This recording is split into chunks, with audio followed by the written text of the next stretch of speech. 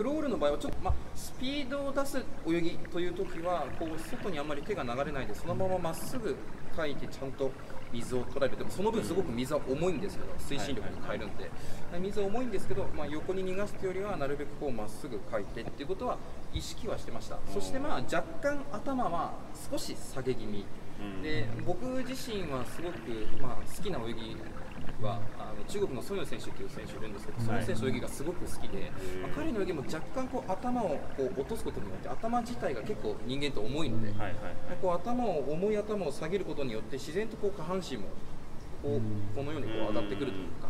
でそうすることによってある程度こうなったポジションのまま、まあ、丁寧に書くことによってうまく推進力に変えていく、